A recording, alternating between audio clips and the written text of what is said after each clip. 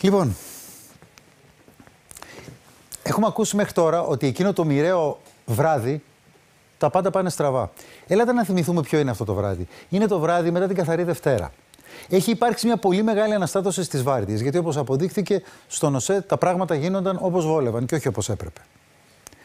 Κάποιοι λείπουν, κάποιοι έχουν πάρει άδεια, κάποιοι πάνε να τους αντικαταστήσουν. Υπάρχει καθυστέρηση, ο καιρός δεν είναι πολύ καλός. Είναι ένα απόγευμα που πάνε όλα στραβά. Όλα στραβά. Μέχρι να φτάσουμε στον όλεθρο. Λέμε μέχρι τώρα ότι και είναι αλήθεια.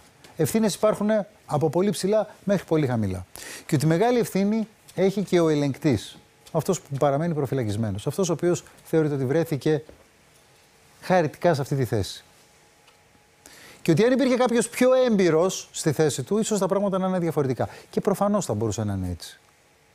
Το ντοκουμέντο, τα ντοκουμέντα που θα σας παρουσιάσουμε και θα πάρετε μια πρώτη γεύση τώρα για ψένα από αυτά, δείχνουν ότι το μπάχαλο επικρατούσε από πολύ νωρίς στο σταθμαρχείο της Λάρισας. Και ότι αυτό το μπάχαλο, φίλες και φίλοι, δυστυχώς επικρατούσε σε πολλά σταθμαρχεία του ΟΣΕ. Αυτό που θα ακούσετε με τον ελεγκτή να προσπαθεί να ζητήσει από αυτούς που ήταν στον ίδιο χώρο, που αυτός προσπαθούσε να συντονίσει τα τρένα, να κάνουν χαβαλέ και να τους λέει σταματήστε γιατί στα χέρια μου είναι ανθρώπινες ζωές, δείχνει ότι δυστυχώς στον ΟΣΕ η έννοια μπάχαλο είναι μια έννοια συνυφασμένη με την καθημερινότητα. Δεν μπορεί σε μια στιγμή εργασίας να ακούγονται αυτά που ακούγονται μέσα από το κέντρο ελέγχου σιδηροδρόμων. Είναι παιδική χαρά. Πάρτε μια γεύση. ωραία, ήρεμα. Λοιπόν, τι κάνω, θέλεις να το διώξω ανάποδα; Ναι, ναι, είναι έτοιμο. Έτοιμο είναι. Έτοιμο, διώξω ένα. Το 25, το 2594. Το 2594 τώρα πήγε η μηχανή να το πάρει. Έγινε, καλά. Έχεις συνεννοηθεί για τον κόσμο δηλαδή ότι θα φτύθει με τι θα κάνουν; Δεν θα το περιμένει εδώ το 2596. Ποιο, ποιο; Τον κόσμο που θα φέρει πίσω με το 2594. Μισό ρεπτό, μισό ρεπτό, μισό ρεπτό. Ε, δεν γύρισε πίσω αυτό, ε. Δεν γύρισε, Παντελή. Τώρα θα γύρισε. Θέλει ένα τέταρτο τουλάχιστον, να μην σου πω και 20 λεπτά να επιστρέψεις. Περίμενε, περίμενε, ένα λεπτό, θα πάρω αυτό άλλο. Μα αφού δεν με αφήνεις, εσύ τι ε, Δημητρή, μ' ακούς. Ε, το 2594 δεν έχει γυρίσει, είναι ένα τέταρτο. Μ' ακούς; Το 2594 με τη μηχανή δεν έχει γυρίσει στη Λάρισα πίσω με το κόσμο. Ναι, άκου, περίμενε ρε Δημητρή, γιατί θέλω να διώξω 2596. Τι, έχω διάδρομο να το διώξω με το χώρο. Να το διώξω, ο κόσμος τι θα γίνει; Αυτό είναι το πρώτο κομμάτι που τώρα αν αυτό είναι ένας επαγγελματικός τρόπος συμπεριφοράς ε, με όλο αυτό θα το κρίνει ο καθένας. Το δεύτερο, το πιο ζοκαριστικό όμως, είναι αυτό του σταματήστε, μην κάνετε άλλο φασαρία, θα σκοτωθεί κόσμος. Έλατε να το δούμε, να δούμε το βίντεο.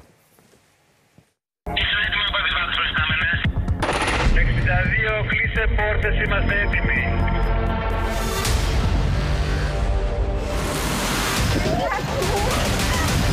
Είσαι όλοι από το τρένο! Όλοι από το Βοήθεια! Από κάτω! Είμαστε από κάτω! Βοήθεια! Μείνε ψύχρεμοι. Είστε καλά. Πήγαινε προστατήσου. Πήγαινε προστατήσου. Τα νέα ηχητικά ντοκουμέντα που παρουσιάζει το Live News οδηγούν σε συμπεράσματα. Σε μια σειρά από διαλόγους αποτυπώνεται η χαλαρότητα, η περιφρόνηση των κανονισμών και των διαδικασιών, οι αστοχίες και η αδιαφορία των κατά τα άλλα έμπειρων σταθμαρχών λίγες ώρες πριν το σιδηροδρομικό δυστύχημα στα Τέμπη.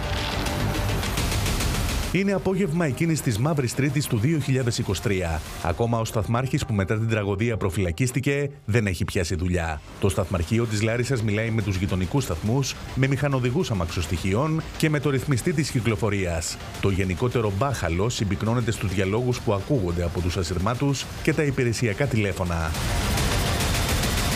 Κανονικά κάθε φορά που μπαίνει ή που φεύγει ένα τρένο από σταθμό, ο σταθμάρχης πρέπει να συμπληρώνει την ίδια στιγμή το βιβλίο συμβάντων. Αυτό, όπως προκύπτει, δεν συνέβη λίγες ώρες πριν το δυστύχημα. Ο σταθμάρχης Βάρδιας ακούγεται να συμπληρώνει εκ των υστέρων το βιβλίο και όπως φαίνεται ούτε που κοίταξε την ώρα αναχώρησης της αμαξοστοιχίας. Έχω και του βόλου βόλου τώρα 12 αμάξι τάδε τάδε ήρθε, έφυγε και να ξαναρθεί. Τι ώρα, Γιατί κοίταξα 18, 35, 30, ξέρω εγώ, βάλτε το 30. 7,79, 35 το βάλα. 7,79, βάλτε ό,τι θες. Όλα στο πόδι, αν και οι έμπειροι σταθμάρχες γνωρίζουν πως έχουν την ευθύνη. Μπίνος έφυγε από μένα, έτσι. Εντάξει, οκ. Εντάξει, αγόρι μου. Οκ, εντάξει. Όλα οκ. Να ανάψει Ναι, ναι. τσιγάρο δηλαδή. Να μείνω ήσυχος. Ναι, ναι, ναι, ναι. ναι. Σε έχω εμπιστοσύνη. Ο, ναι, εντάξει. Εφόσον δεν, δεν έχουμε και το 63 από εκεί είναι. Άρχισε και το 63 να είχαμε, θα του κρατούσεις εκεί, θα του φρενάριζες εκεί. Ναι, ναι, ναι, εντάξει. Κατάλαβες; Είμαστε εντάξει, ναι. Σε αυτή την περίπτωση δεν πάει να έχεις και του βασιλιά να έρχεται από εκεί. Ναι, ναι, ναι, ναι, ναι. Εντάξει. Έγινε. Και πέ μέχρι την είσοδό σου εκεί στο λιτόχωρο και το βάλτε μέσα μετά στην άνοδο. Ακριβώς, ναι. Είσαι ωραίος. Έγινε. Ό,τι θες πάρε με τηλέφωνο. Έγινε, Μόνο καλά, με μη καλά. λακταρίσεις. Γεια. Όχι, όχι, όχι. Γεια.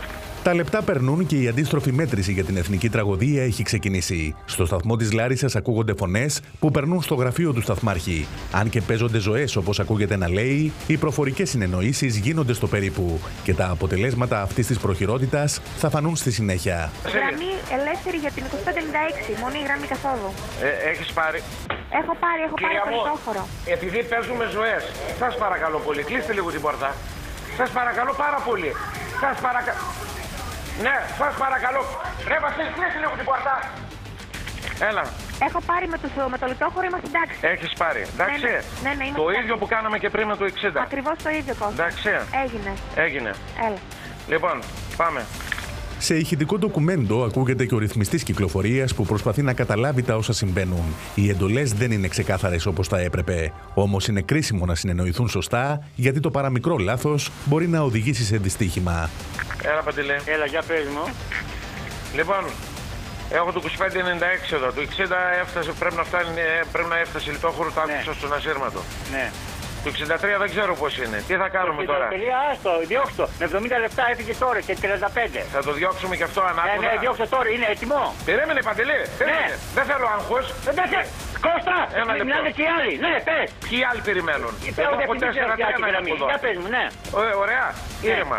Η γύμνια του σιδηροδρομικού δικτύου έχει οδηγήσει σε μια κατάσταση επικίνδυνη. Τα πάντα γίνονται πρόχειρα, ο ένας μιλάει πάνω στον άλλο και οι κανόνες ασφαλείας έχουν πάει περίπατο. Λοιπόν, τι κάνω, θέλεις να το διώξω ανάποδα; Ναι, ναι, είναι έτοιμο. Έτοιμο είναι. Έτοιμο, διώξτε ένα. Το 25, το 2594 Το 2594 τώρα πήγε η μηχανή να το πάρει. έγινε καλά. Το Έχεις 25, συνεννοηθεί σιγά. για τον κόσμο δηλαδή ότι θα φτύθει με τι θα κάνουν.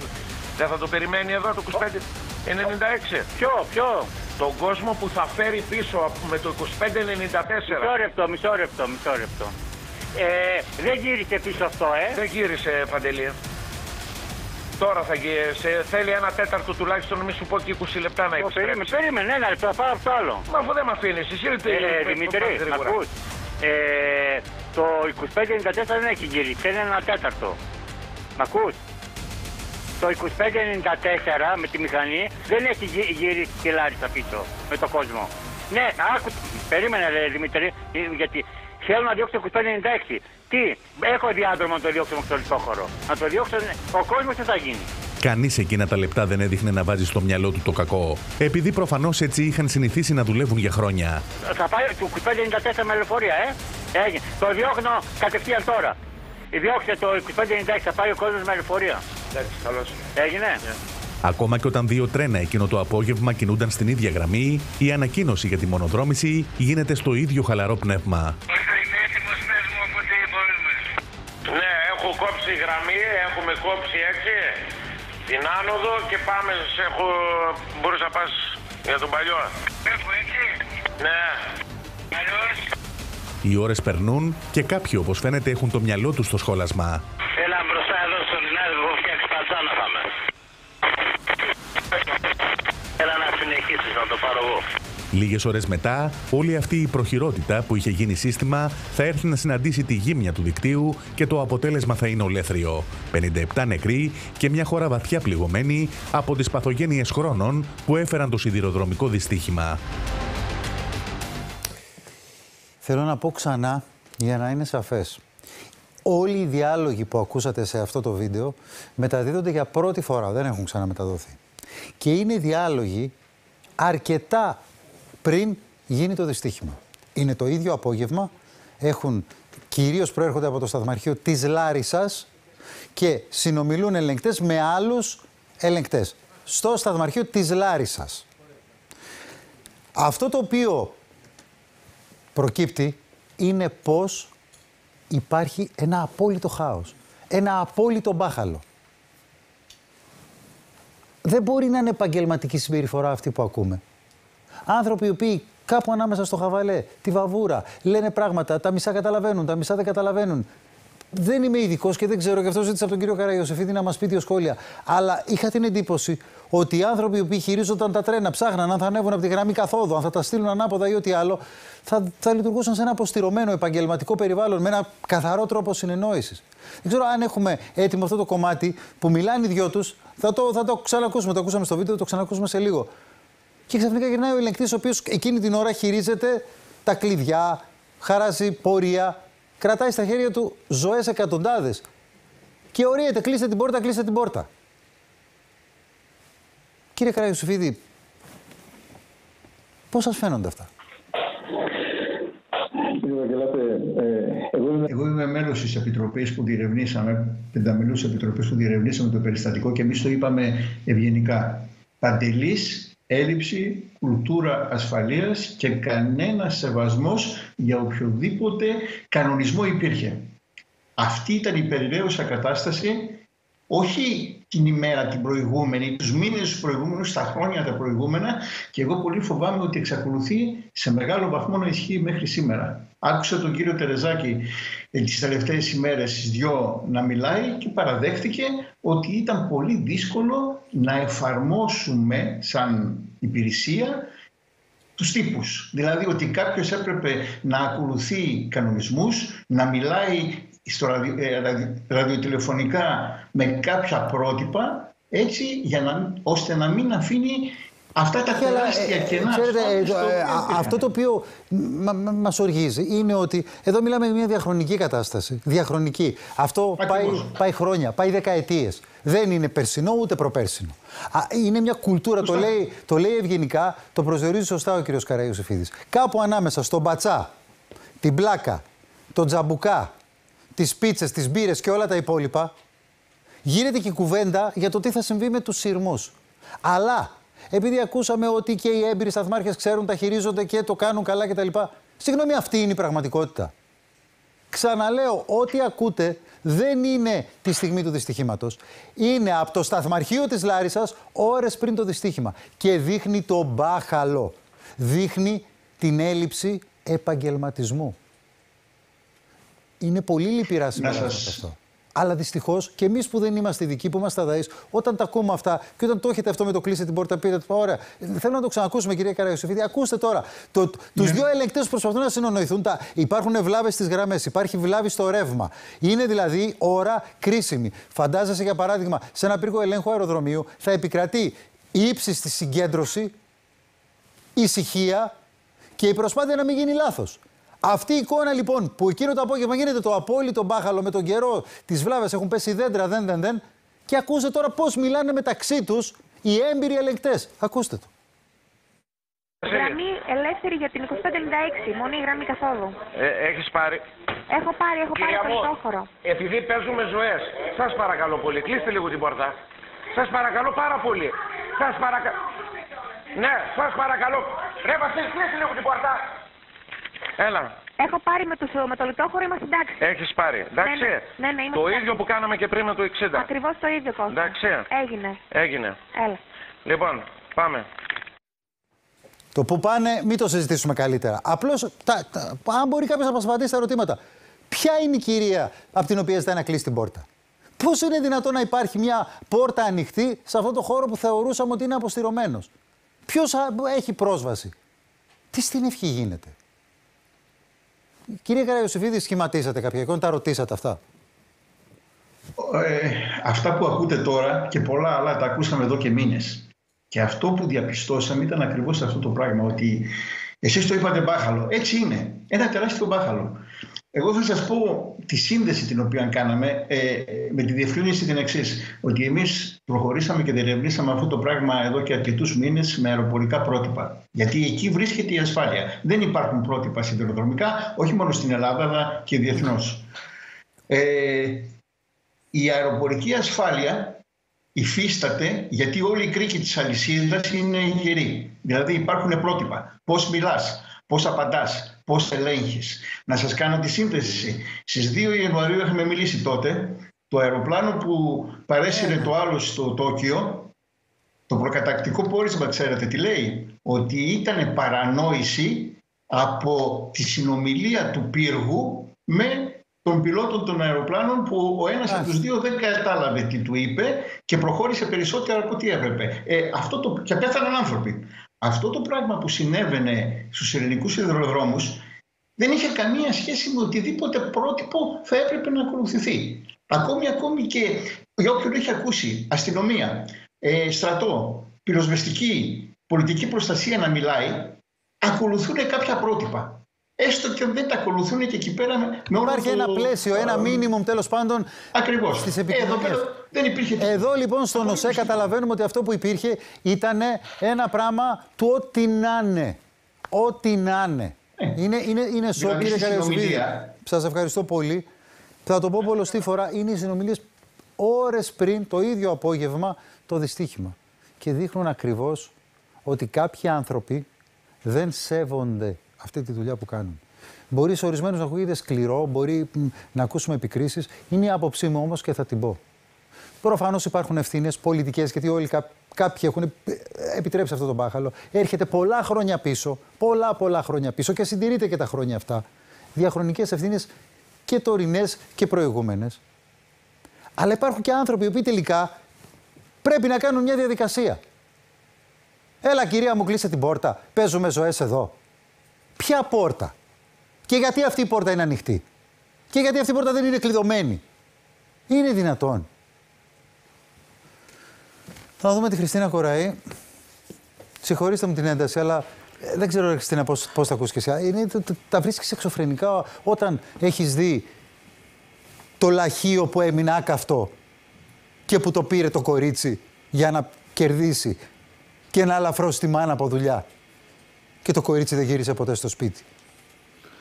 Νίκο, αυτά τα οποία δείχνει σήμερα πραγματικά είναι συγκλονιστικά. Ε, Οι συνδικαλιστές τι δουλειά έκαναν ακριβώς, για να καταλάβω δηλαδή. Οι συνδικαλιστές τι έκαναν ακριβώς. Δεν ήξεραν αυτό το μπάχαλο.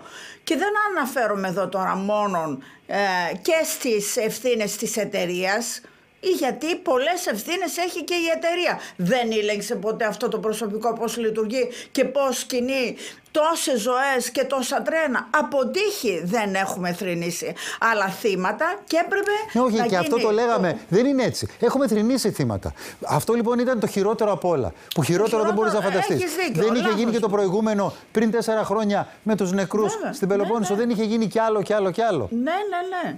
Και Άρα, πού λοιπόν- ήταν λοιπόν, τι έλεγχοι έγιναν, ποια σοβαρότητα υπήρξε σε όλη αυτή την αντιμετώπιση και το σεβασμό στους ανθρώπους και ε, στα παιδιά που ανέβαιναν πάνω στο τρένο για να πάνε να σπουδάσουν.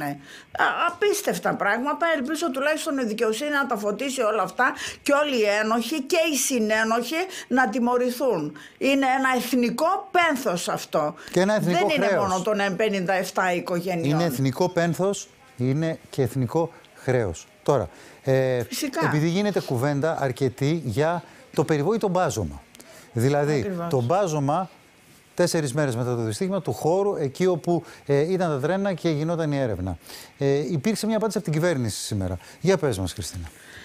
Λοιπόν, η κυβέρνηση τι απαντάει; Απαντάει ότι ε, ε, ε, κάποια κόμματα έχουν υιοθετήσει τα πιο ακραία σενάρια συνωμοσιολογίας τα οποία υπάρχουν.